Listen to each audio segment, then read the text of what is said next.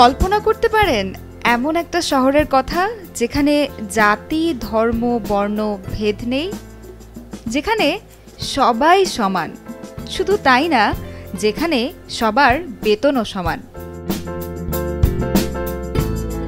এই শহরে বসবাসকারী সবাই আসলে যা ইচ্ছা তাই করতে পারে। অর্থাৎ যে যে পেশায় কাজ করতে চায়, সে পেশায় কাজ করতে পারে। তারা কেউ কারও থেকে বড় হওয়ার জন্য কাজ করে না। নিজেদের সম্প্রদায় আর গোষ্ঠীর জন্য কাজ করে।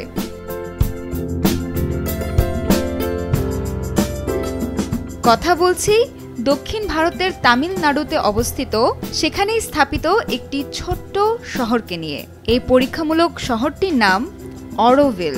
একজন ফরাসি নারী মারিসা আলফাজা এই শহরটি স্থাপন করেছিলেন। তিনি এই পরীক্ষামূলক শহরটি স্থাপন করার উদ্যোগ নিয়েছিলেন, যেখানে কোনো প্রকার ভেদাভেদ থাকবে না। না থাকবে কোনো প্রকার দুর্নীতি।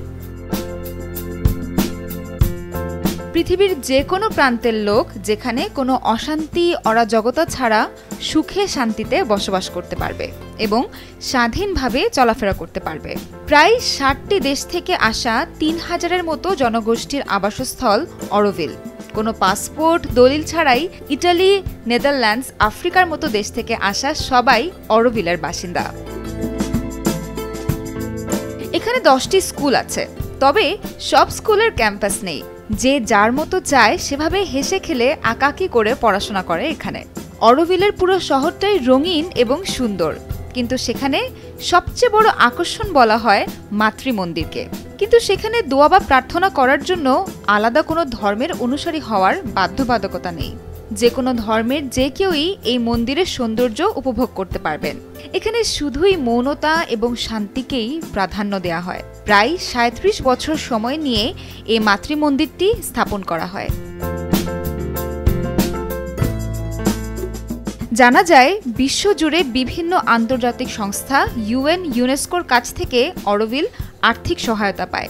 তাছাড়া, সেখানে বসবাসরত সবাই, যে ডাক্তার, যে ঝাড়ুদার বা যে শিক্ষক, সবাই বারো হাজার রুপি করে বেতন পায়। আর সেটা দিয়ে তারা তাদের বাড়তি খরচ চালায়। এখানে আরেকটা মজার বিষয় হচ্ছে, অরবিলে তারা দোকানে কিছু কিনতে গেলে তাদের কোনো ক্যাশ দিতে হয় না। স্থানীয়দের কাছে থাকা একটা কার্ড বা নাম্বার দেখালেই তাদের অ্যাকাউন্ট থেকে টাকা কেটে রাখা হয়। সেখানে বিদ্যুৎ নেই তা নয়, কিন্তু তারপরও রান্না থেকে শুরু করে আনুষাঙ্গিক সব কিছুর জন্যই তারা সৌরবিদ্যুৎ ব্যবহার করে। এখানে সবার থাকা, খাওয়া কোনো কিছুর জন্য তাদের নিজেদের কোনো আলাদা আয় করতে হয় না। সব কিছুই অরোভিলে স্থানীয়দের সমানভাবে সুন্দর করে বন্টন করে দেয়া হয়।